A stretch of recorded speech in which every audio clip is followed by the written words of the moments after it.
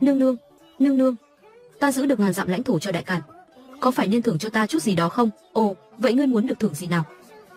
À thì cũng không có gì, cứ thưởng mười mấy vạn lượng hoàng kim gì đó, hay mỹ nữ xinh tươi là được. Nương nương lại làm cái chó gì nữa đấy? Ngươi nghĩ bản thân là thái tử thật đấy hả? Thằng Dê Sùng không có sự yếu lý lịch này nữa, bổn cung còn chưa trị tội ngươi mà dám đòi thưởng. Vậy giờ bổn cung sẽ chém bay quả dưa leo đi, thưởng ngươi thành thái giám. Nương nương ơi đao kiếm vô tình, nếu ta thành thái giám, vậy thì kẻ xui xẻo sẽ là nương nương đấy. Ngươi có ý gì? Thì nương nương giết thái tử rồi, giờ chỉ còn ta mới giúp được ngài. Nếu ngài giết cả ta nữa, một khi chuyện này bại lộ, thì kẻ xui xẻo cuối cùng vẫn là nương nương đấy. Ngươi uy hiếp ta à? Đây không phải uy hiếp, đây gọi là hợp tác cùng có lợi, đúng không? Được, vậy bổn cung tha cho ngươi một mạng. Ngươi nhớ đấy, ngươi là một con chó bổn cung nuôi. Nếu ngươi không nghe lời, thì dù ta không giết ngươi, ta cũng có một vạn cách khiến ngươi sống không bằng chết. Biết rồi. Hoàng hậu nương nương, thái tử phi cầu kiến. Thái tử phi, đó là nương tử của ta còn gì? Đúng vậy.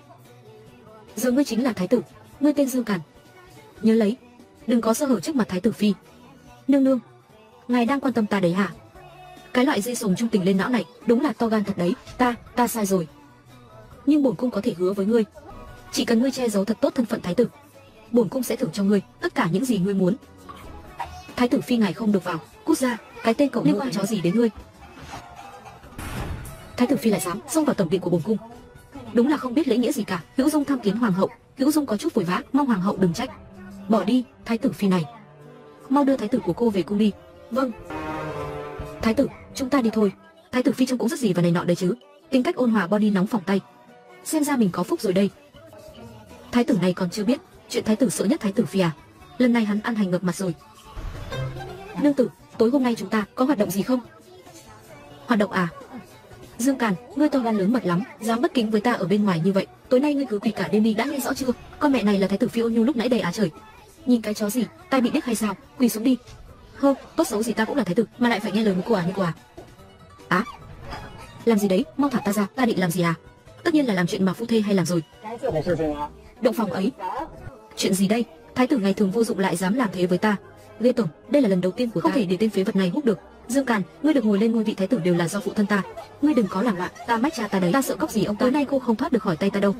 Thần thiếp còn chưa chuẩn bị xong, yên tâm đi, ta sẽ yêu thương cô nhiều nhiều. Đừng mà. Á y cư y cư. Thái tử phi như uống dốc két một giờ ấy, tí thì hư hết thật.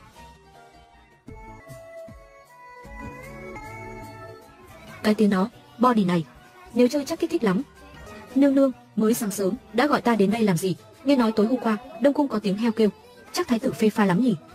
Lẽ nào nương nương ghen rồi à? Nếu ngươi còn dám nói láo, bổn cung chặt chim đấy, để ngươi thành thái giám. Nương nương, nếu như ta thành thái giám, vậy thì sau này ai sẽ giúp ngài? Thằng dây sùng này nữa, đúng là trung tình lên não. Ô, ô thế là mình bị đè ngược lại à? Nương nương, để ta chăm sóc ngài nhé. Vậy bổn cung sẽ chém cờ hi ngươi, khiến ngươi ở bên bổn cung mãi mãi, chơi không?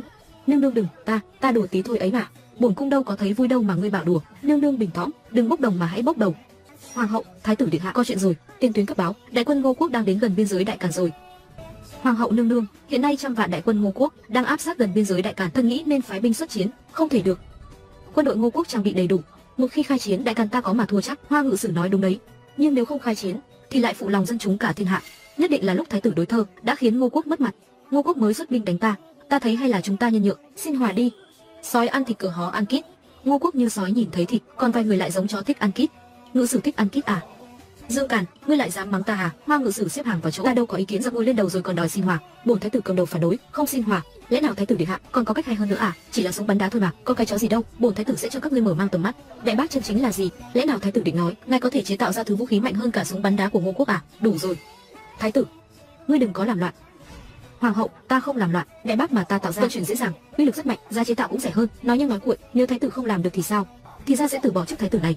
Thái tử, ngươi, yên tâm đi hoàng hậu, ta rất tự tin, cho ta thời gian 3 ngày, 3 ngày sau ta sẽ khiến các người tâm phục khẩu phục. Được. Nếu thái tử đã tự tin như thế, vậy lão phu muốn xem xem chuyện tất cả thợ rèn ở vương triều đại càn đều không làm được, thì ngài làm kiểu gì? Hừ. Vậy mở to mắt cho ra cho rõ đi. Ngài cứ tận hưởng 3 ngày cuối cùng được là thái tử đi. Ngươi bốc đồng quá đấy, vì cái tôi mà lại dám nói mấy lời ngu nghênh, có nghĩ đến hậu quả không? Nương nương, ta làm ra được thật mà. Thế này đi, ngài giúp ta tìm ba thứ ba ngày sau ta đảm bảo sẽ làm xong, đại bác khiến ngài hài lòng. Thứ gì cơ? Tiêu thực, lưu huỳnh và than củi. Ngươi lấy chúng làm gì? Làm thuốc nổ. Dương Càn, ngươi đang làm cái gì đấy? Sao có mùi khó ngửi thế? Phòng của bổn cung sắp thành cái lò đốt rồi.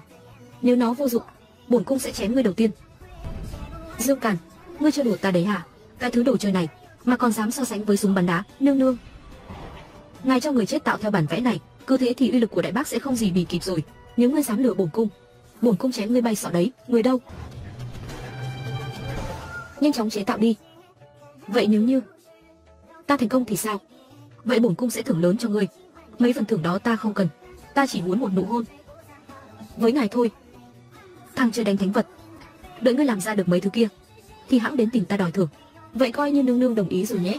Thái tử, theo lời lúc trước ngài nói, đã qua ba ngày rồi, không biết đại bác của ngài đã chế tạo xong chưa? Cảm ơn Hoa ngự sử đã quan tâm. Đại bác của ta đã chế tạo xong rồi thế cơ à? Vậy mang ra đây xem nào, để mọi người được mở mang tầm mắt. Ở đây thì không được. Thái tử, ta thấy ngài chả làm được gì, chỉ bốc phép là giỏi, vẫn liên tiếp trước thái tử. Thì cứ nói đi, lão phu vẫn có thể cho ngài làm. Thái tử bù nhìn lay lắt vào ngài.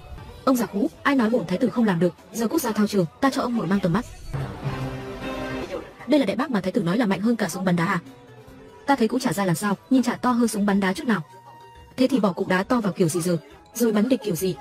Thái tử, lẽ nào ngài muốn dựa vào cái này để đọ với súng bắn đá ngô quốc đấy à? Đọ được hay không nói mồm làm sao được, mở to mắt chó ra xem đi. Khai hỏa. Ơ, sao lại như thế được? Hoa ngự sử, uy lực đại bác của ta so với súng bắn đá của ngô quốc thế nào hả? Nếu ông không phục, thái tử, là lão thần xem thường ngài rồi. Thần tâm phục khẩu phục, đại bác này hay lắm. Nếu có thứ vũ khí này, đại càn ta sợ chó gì ngô quốc nữa, truyền lệnh bổn cung sản xuất lượng lớn đại bắc đưa đến biên giới. Nếu ngô quốc vẫn muốn khai chiến, thì bổn cung sẽ khiến chúng đại bại quay về. Nương nương, ta chế tạo đại bác lợi hại như thế cho ngài, có phải nên thưởng cho ta không? Ngươi muốn thưởng gì? Nương nương, ta muốn được thưởng gì? Nương nương biết rồi mà,